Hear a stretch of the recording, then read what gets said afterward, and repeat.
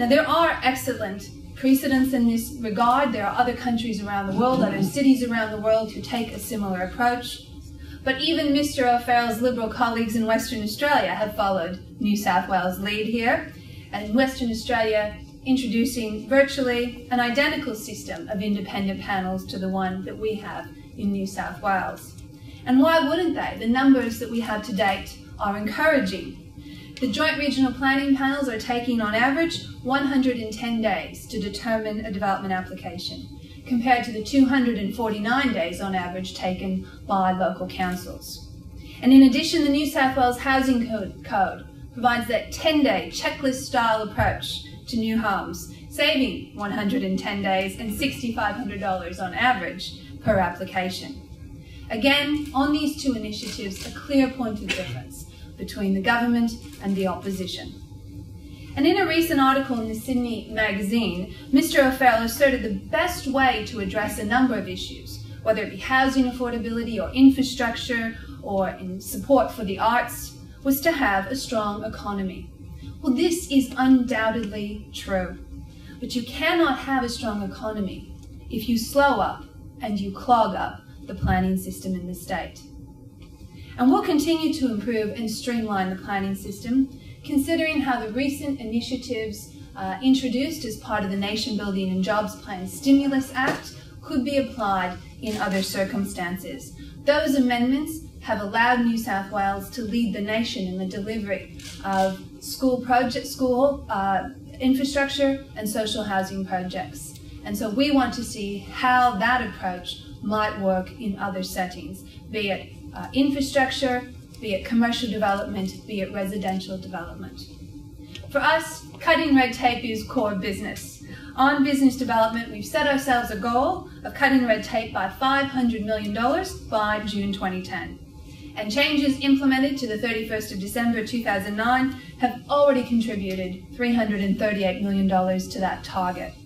We've conducted targeted reviews in specific areas of regulatory burden, and we've seen a number of important reforms, including exempt and complying codes for commercial, industrial, and retail uses.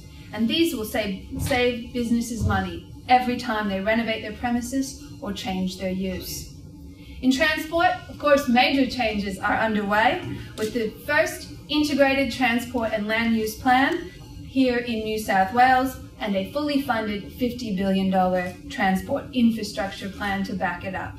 That integration, making it easier to provide jobs closer to home, transport to workplaces, homes closer to jobs, and provide more work options to the people of Greater Metropolitan Sydney. These are all big benefits to business in this city. Now, the construction of our $2.1 billion Southwest Rail Link already well underway, and our Western Express program will deliver vastly improved public transport, vastly improved uh, capacity on our rail system right across the network. And we will have more to say about that in the coming days and weeks. Now, there's much more I could talk about, but indeed I need to allow some time to announce another initiative and that is also about keeping New South Wales first. New South, ladies and gentlemen, New South Wales is leading Australia's international tourism recovery. Data from Tourism Research Australia's International Visitor Survey shows that the number of international visitors to New South Wales increased by almost 7% last quarter, with visitor nights up by almost 13%. This around three times the national average increase in nights. New South Wales is the number one state for international visitors, visitor nights, and expenditure. Mo mo more international visitors are coming to Sydney and to New South Wales. They're staying longer and they're spending more. This is fantastic news for the economy and for the tourism industry after a tough 2008. And we'll do what it takes to keep New South Wales at, to out in front to ensure that New South Wales retains that title of the entertainment capital of the country. So today I announced an overhaul of Events New South Wales, a major revamping of the government's approach to events attraction in this state. While I will retain oversight of Events New South Wales, we will create a new portfolio and a Minister for Major Events, Ian Macdonald. This Minister, uh, Minister Macdonald, as Minister for Major Events, will be dedicated to the acquisition and the attraction of events to this state. As the Minister for State and Regional Development, the Minister will have accountability on a day-to-day basis for Events New South Wales, meaning that between the Premier and the Minister, Events New South Wales will have an enhanced effort in securing major events for the state. A high-level whole-of-government cabinet committee will be established, comprising the Minister for Tourism, the Minister for Western Sydney, including Sydney Olympic Park, the Minister for Arts, and the Minister for Gaming and Racing. That committee will be reported, will be created, and it will report to me.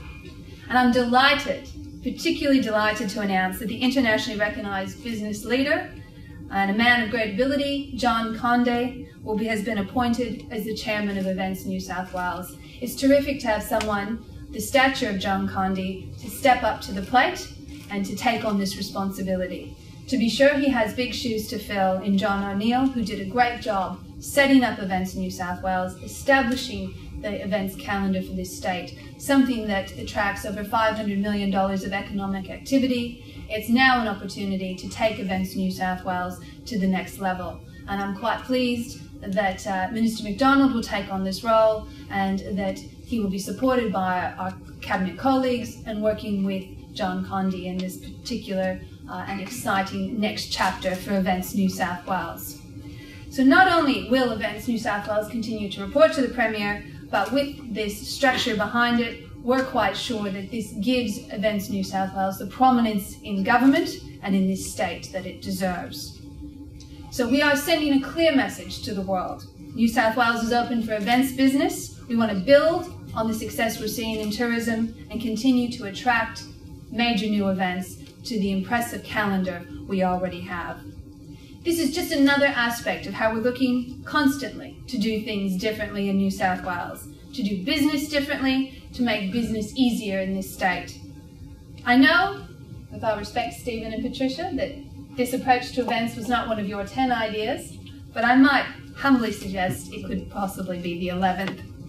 So, of the things we've touched on today, and given the breadth of your report, we share so much common ground with the Chamber and we're already acting on many of your areas of interest because our interests, of course, are mutual. So thank you for your time. Thank you for your energy and initiative. Thank you all for your ongoing contribution to New South Wales. Thank you.